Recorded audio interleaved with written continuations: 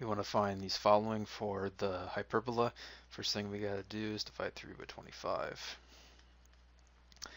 We end up with y squared over 25 minus x squared over 25 is equal to 1.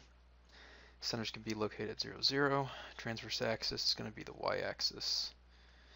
And the vertices are going to be 0, negative 5, and 0 and 5. Foci can be located at square root of 50. It's going to be equal to 5 root 2. It's going to be 0, negative 5 root 2. And 0, 5 root 2. And the asymptotes are going to be low, uh, rise over run, which is just going to be plus or minus x. Okay, so we graph this. So we got 4, 5.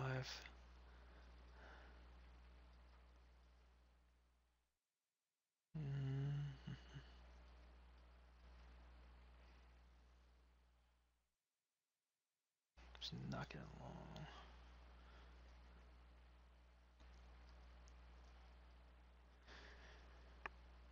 He's out. Alright, foci. Um, 5 root 2 is roughly um, let me see here. It's located at 7.07, so roughly right here.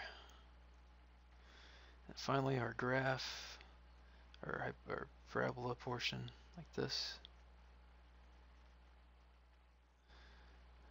And like this. And that's it.